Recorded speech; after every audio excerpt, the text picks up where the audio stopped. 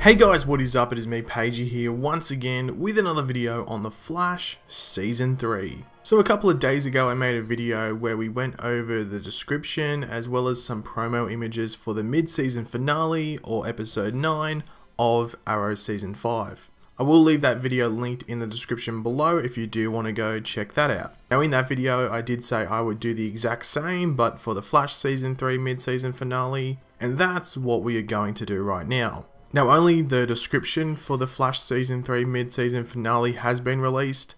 The promo images will most likely come out on the day of the Flash episode of the 4-night crossover, or the day after that, one of the two. So just keep your eyes out for it if you are interested in seeing those images. The Flash has its promo images released later than Arrow usually. My only guess is because the promo images for the Flash can be a bit more spoilerish if you know what I mean while Arrow usually sticks to the safe side when it comes to his promo images. But anyway, let's get into it. The title for the mid-season finale or episode 9 of The Flash Season 3 is The Present, and the description goes like this. With Alchemy and Savitar still looming threats, Barry is unable to focus on the Christmas holiday and especially his relationship with Iris. Determined to stop Savitar, Barry goes to Earth 3 to get advice from Jay Garrick. Wally wants to help Barry fight Savitar and reveals that he's been training with HR, which doesn't go over well with Barry. As Cisco faces his first Christmas without his brother Dante, old wounds are reopened. So wow, that was one hefty description.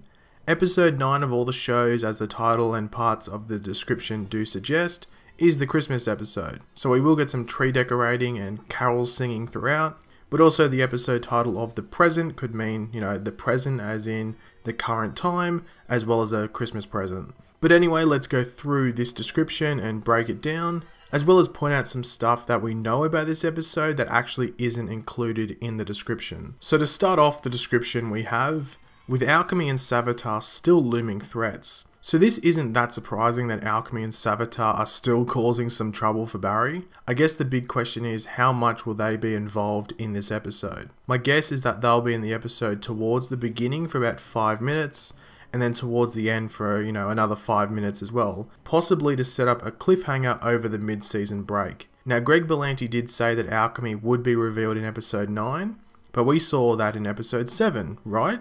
Well, we did. However, he might have been saying that to throw us off, so we were surprised in episode 7. Or possibly in episode 9, Alchemy is revealed to Team Flash. But I guess we'll have to wait and see, won't we? Next, we have Barry is unable to focus on the Christmas holiday and especially his relationship with Iris. Seeing this is a Christmas episode, they usually do focus on relationships for the most part. It will be somewhat interesting to see what does happen here, I personally do think they need to do something with the Iris character, like focus on her journalism or something, because at the moment she is just there at Star Labs for the sake of being there, and it is becoming more obvious by the episode. Like every single time I put out a review episode, more people seem to notice like what is Iris doing? She just is at Star Labs for some reason. So hopefully they do something with her character over the second half of this season. Up next is Determined to stop Savitar, Barry goes to Earth 3 to get advice from Jay Garrick. So this is going to be awesome to see, not only because, you know, having Jay Garrick back, but also just going to Earth 3. Like, that's awesome. Now, I think the purpose of the visit is to possibly learn more about his abilities from Jay Garrick because Jay Garrick is so much more experienced. But Jay may also know of Savitar, or have at least heard rumors about him.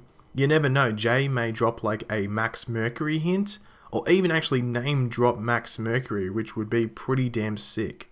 Also, Barry and Jay are going to team up to take down an Earth 3 version of an Earth 1 villain who, let's say, likes to use the Force, if you know what I mean. If you don't know what I'm talking about, I don't want to spoil it in this video, but you can Google some stuff and you should be able to find out who I'm talking about pretty easily. The second final thing we have is, Wally wants to help Barry fight Savitar, and reveals that he's been training with HR which doesn't go over well with Barry. Now in the crossover episode, they will do some stuff with Wally in regards to him really wanting to help Barry take down evil forces, so it will continue in this episode as well.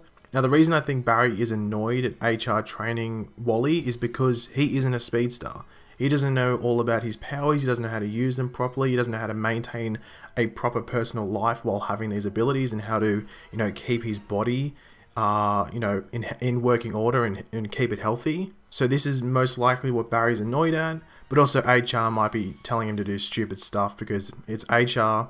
He's a smart dude for the most part, but he can be a bit silly from what we've seen over the uh, few episodes that he's been present. And the final thing we have here is as Cisco faces his first Christmas without his brother Dante, old wounds are reopened. So Dante is in this episode, like the actors in it. So I'm guessing they will either be visions or hallucinations of Dante by Cisco, with Dante speaking to him, possibly in a negative light, which could hurt Cisco emotionally. Or we will see Dante in flashbacks and we will see what Cisco and Dante's relationship was like in this timeline before Dante was unfortunately killed. So as I did sort of mention in this video, this is the mid-season finale. Obviously, there's a mid-season break, which goes for around six to seven weeks. It's a massive break, I know, it's a bit annoying, but you never know, time flies, so just watch some other shows, binge watch some other shows to keep your mind focused, or even just rewatch Flash, who knows, whatever you want to do. But we still got two more weeks of Flash and all the other shows, so it's still cool. And speaking of the other shows, the crossover starts tomorrow with Supergirl, as I've mentioned in like multiple videos. Don't go into the Supergirl episode expecting the whole episode to be crossover. It's the last five minutes roughly, so yeah, don't get disappointed, please.